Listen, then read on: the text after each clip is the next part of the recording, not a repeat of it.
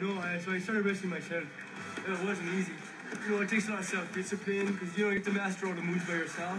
Uh, grappling holds, takedowns, reversals. You know, I worked hard at it and now I'm pretty good. I understand you're unbeaten, Oh yeah, but a couple of those were pretty close. but you can only take solo wrestling so far. Today, for the very first time, Tommy Skuck will face an opponent, Alexander Chachki.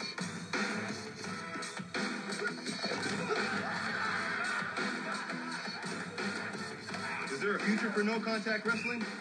It had been proposed as a demonstrator sport at the Olympics, but lost out to troll vaulting. Is there a future for men like these? I doubt it.